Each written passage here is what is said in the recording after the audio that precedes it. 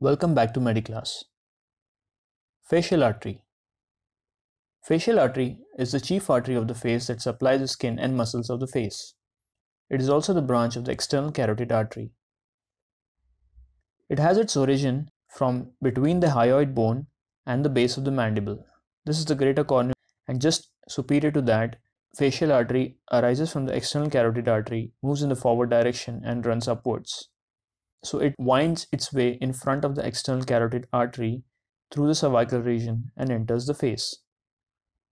So the facial artery has two parts, cervical part in the region of the neck and the facial part on the face. In the cervical part, the facial artery has its course from the external carotid artery running anteriorly behind the posterior belly of digastric muscle and the stylohyoid muscle, runs upwards and behind the ramus of the mandible creating a groove over the posterior border of the submandibular gland. It also creates an S-shaped bend lingual to the mandible. The first bend is directed downwards with the convexity pointing upwards over the posterior part of the submandibular gland and the second bend pointing upwards and the convexity pointing downwards along the base of the mandible and approaching onto the face. The facial part of the facial artery enters the face by piercing the deep cervical fascia. It passes anterior to the masseter muscle at the antero-inferior border of the masseter muscle, runs upwards in a tortuous way and moves forward to reach to the angle of the mouth. So this picture summarizes the origin and course of the facial artery. The facial artery arises from the external carotid artery behind the posterior digastric muscle and the stylohyoid muscle, runs upwards behind the ramus of the mandible over the submandibular gland creating a S-shaped bend, piercing the deep cervical fascia and reaching onto the face. So branches of the facial artery. The branches on the face are the inferior labial artery that supplies the lower lip, the superior labial artery that supplies the upper lip, the lateral nasal artery that supplies the ala of the nose and the dorsum of the nose, the angular artery. Branches in the cervical region. Facial artery in the cervical region gives rise to four other vessels before continuing its course onto the face. The ascending palatine artery that supplies the tonsils, the superior constrictor muscle of the pharynx, and the auditory tube. The tonsillar branch that supplies the palatine tonsil, the submental artery that supplies the submental muscle and skin over the submental region, and the glandular branches that supply the submandibular gland. Anastomosis of the facial artery. The facial artery forms anastomosis anteriorly at the midline with similar branches of the opposite side. Posteriorly, it forms anastomosis with the branches of the transverse facial artery. And along the medial angle of the eye, it forms branches with the ophthalmic artery.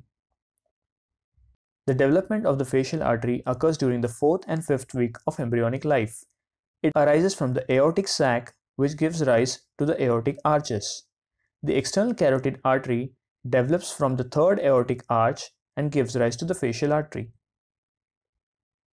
The function of the facial artery is to supply the palatine tonsils, the soft palate, the pterygoid, mylohyoid, and the digastric muscles, along with the muscles of the face, the submandibular gland, the skin of the face, and the dorsum and ala of the nose.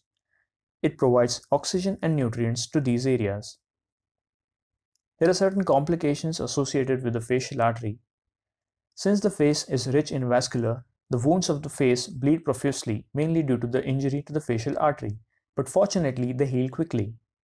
Hemorrhage from the facial artery can occur during submandibular gland excision. External approaches to mandible fracture can repair and require ligation of the facial artery.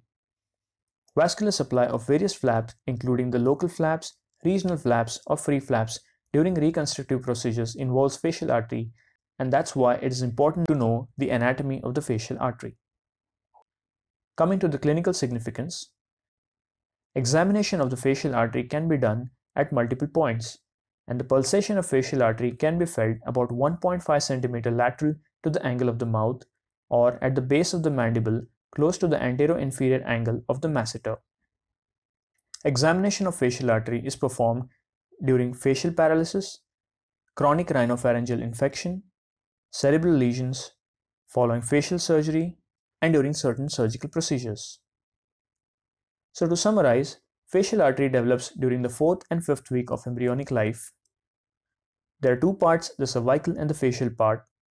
It is a branch of the external carotid artery. Each of the parts, that's the cervical and the facial part, gives four branches.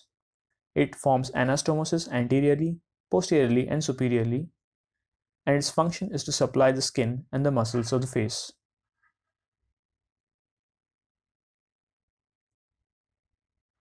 You can find a link to the Google form that has MCQs related to this topic. You can attempt those and try to find out how much you learned about the topic. So thank you for watching the video. We hope you liked it. And if you did, please subscribe to the channel and hit the notification bell for update on new videos. So see you in the next video. Till then, stay healthy and have an amazing week.